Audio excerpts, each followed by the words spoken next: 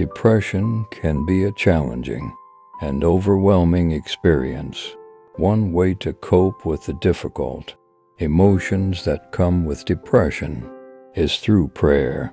Here is a sample prayer that you may find helpful. Dear God, I come to you today with a heavy heart and a troubled mind.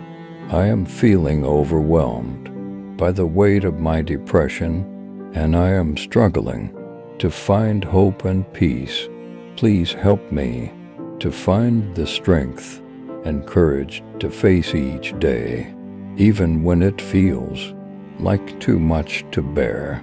Help me to remember that I am not alone and that you are with me always.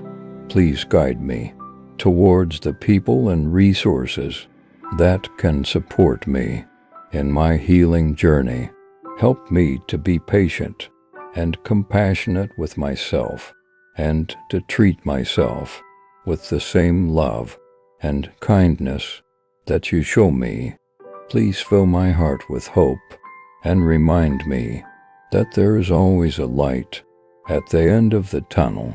Help me to see the beauty in the world around me, even when it feels like darkness is all I can see. Thank you for your love, your grace, and your endless mercy.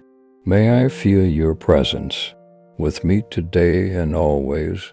Amen.